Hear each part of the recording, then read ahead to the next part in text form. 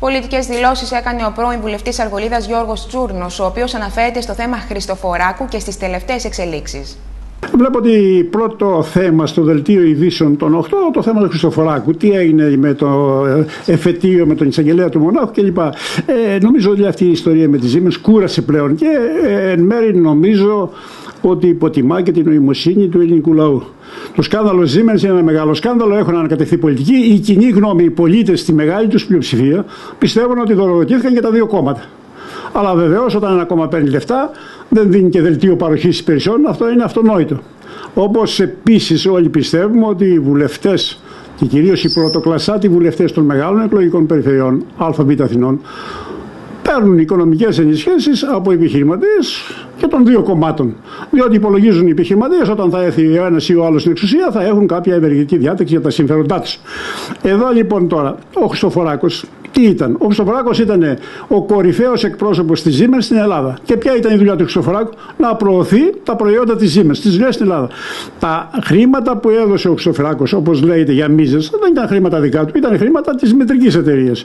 Η οποία του έδωσε, ο Χριστοφοράκος ήταν ο διαμετακομιστής να τα δώσει σε πολιτικούς προκειμένου να τύχουν ε, ευνοϊκών ρυθμίσεων οι, οι μεγάλες υποθέσεις που υπέγραψε η Siemens με το ελληνικό δημόσιο. Εδώ λοιπόν όλοι οι οποίοι ήταν αποδέκτες των χρημάτων, είτε είναι κόμματα είτε είναι πολιτικά πρόσωπα, έχουν απαλλαγή των κατηγοριών και συγκεντρώνεται όλο το ενδιαφέρον γιατί θα δικαστεί ο κ. Χριστοφοράκος και τι θα γίνει. Ε, νομίζω ότι όλο αυτό είναι μια παροδία και καλό θα ήταν να σταματήσει αυτή η ιστορία. Δεν πρόκειται, ο λαός πιστεύει ότι δεν πρόκειται να βγει τίποτα από όλη την ιστορία και απλώς μπαίνουμε και στα έξοδα να στέλνουμε αστυνομικούς και να δικάζουμε και να ασχολείται ένας σωρό κόσμος αν θα έρθει ο Χριστοφοράκος ή δεν θα έρθει. Εκείνο όμως που θα ήθελα σαν πολίτης να μάθω είναι ότι αυτές όλες οι συμβάσεις δεν έγιναν μόνο με μια υπογραφή του Υπουργού, υπέγραψαν και κάποια διοικητικά συμβούλια και κάποιοι άλλοι. Δεν βλέπω λοιπόν ούτε ο τύπος να ασχολείται με αυτό το θέμα. Να, να δούμε και τα πρακτικά των αποφάσεων. Ποιοι υπέγραψαν, πώς δικαιολόγησαν και επιπλέον να δούμε τα ονόματα. Εκτός αν είναι και αυτό προσωπικό δεδομένα, προσωπικά δεδομένα. Και παράλληλα, νομίζω και τα δύο κόμματα θα έπρεπε να συστήσουν μια επιτροπή από τεχνοκράτες να αξιολογήσουν τη ζημιά που υπέστη το ελληνικό δημόσιο από αυτές τις συμβάσεις. Εδώ συζητείται ότι δόθησαν μίζες 100 εκατομμυρίων ευρώ.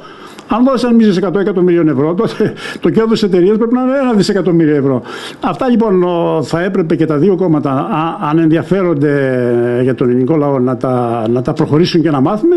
Διαφορετικά τώρα, αν θα δικαστεί ο Χριστοφοράκο για τα τρία δικήματα και τα δύο δικήματα, ποσός ενδιαφέρει τον ελληνικό λαό. Και παράλληλα, Νομίζω έχει υποχρέωση η κυβέρνηση να βελτιώσει τον νόμο, να δώσει περισσότερη διαφάνεια στο θέμα των προμηθειών και των συμβάσεων αυτών. Η αδιαφάνεια είναι πηγή όλης αυτής της ανομαλίας και όλης αυτής της διαφθοράς, η οποία έχει, ε, έχει γίνει ενδυμική πλέον στο ελληνικό δημόσιο. Κύριε Τζουρνό, δεδομένου ότι ακούστηκαν και ε, μικρότερα κόμματα τα οποία ακούστηκαν τις τελευταίες, τον τελευταίο καιρό και μικρότερα κόμματα τα οποία ενδεχομένως να πήραν μίζες από την ε, Siemens ε, γνωρίζετε.